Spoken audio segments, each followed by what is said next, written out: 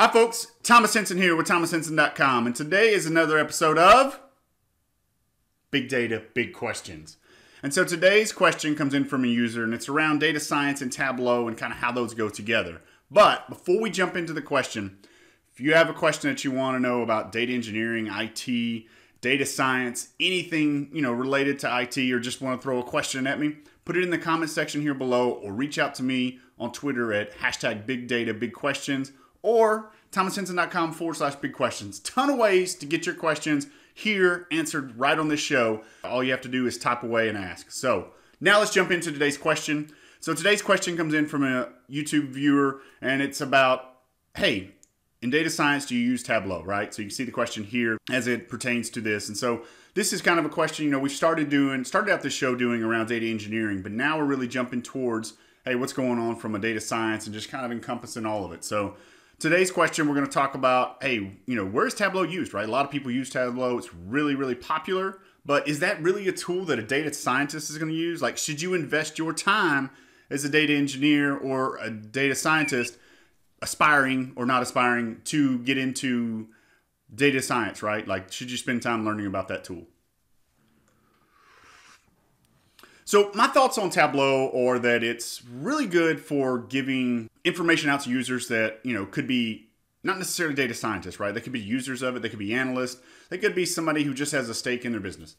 I've used it at a, lot of different um, corporations that I've worked at and companies and organizations. And really what I see is those tools are more for the end user for visualization. So they may fall more in the um, data visualization bucket, right? So we've talked about the three tiers of work. So you have your data scientist, you have your data engineer and your data visualization specialist, right? The person who's doing, you know, making sure that, hey, at the end of the day, it's great that we have all these uh, all these algorithms that are showing us and being able to predict whatever we're trying to look at in our data. But if we can't sell that and can't convey that to the people that need the data to make a decision on, then it's kind of just an experiment. It's just us having fun, right? Doing research, right? So, you know, when it comes to an end product or being able to really sell your point, data visualization. I think that's the bucket that Tableau fits in more than just traditional data science.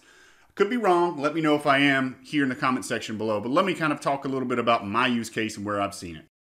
So, like I said, I've used it in a lot of different um, organizations that I've worked with or even contracted with. And so, one of the main use cases, I'll, I'll, give you an example. Let's say that you're a YouTube viewer, right? I'm not saying YouTube uses Tableau. This is just an example because I don't want to give away too much information.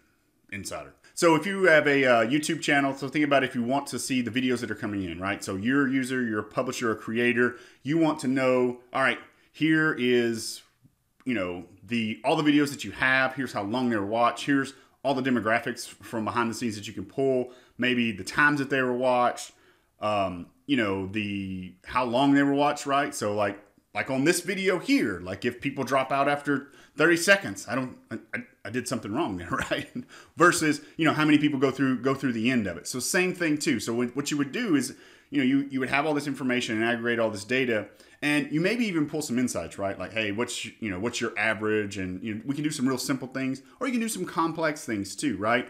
But Tableau is where you're going to give the end user the access. At least what I've seen seen a lot. So there's a big need, right, to be able to do that and be able to pull that data, and it gives you a way to I wouldn't say that a data scientist wouldn't per se use that as their tool. It wouldn't be their only tool. Maybe that's the way that they aggregate and look at large amounts of data before they kind of go in and start to pick and choose. And I'm sure there's some modules out there that are incorporating machine learning and deep learning.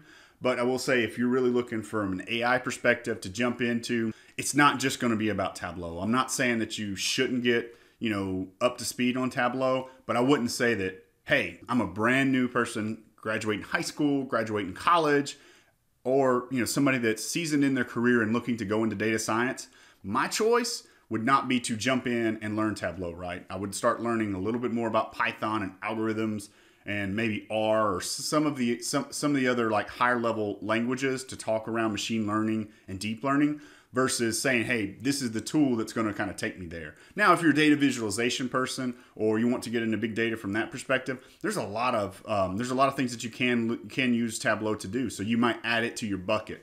But you know, as far as you know, we talk about on this show, you know how to you know how to accelerate your career or how to break into the big data realm. This is not one of those tools that I'm going to say, hey, this is if this is you know if this is the only choice you have. Um, not really going to be the one that's probably going to going to make the most sense, right? Like it's not going to be the game changer. Like, hey, this person's Tableau, you know, certified in Tableau, or you know, is is a Tableau wizard. Now, if you're applying for a job, right, that's you know all around Tableau, then then definitely. But as far as like, hey, I want, I really want to get down into data science, and I really want to get deep in it. Um, Tableau is one of those things. Definitely, definitely, probably, you know, probably going to use or come across tools that are similar to that, but it's not going to be your mainstay. Probably where you're writing your algorithms and doing uh, your analytics. So, so that's all for today. Um, if you have any questions, make sure you put them in the comment section here below, and then make sure you click subscribe to follow this channel so that you never miss an episode of Big Data, Big Questions.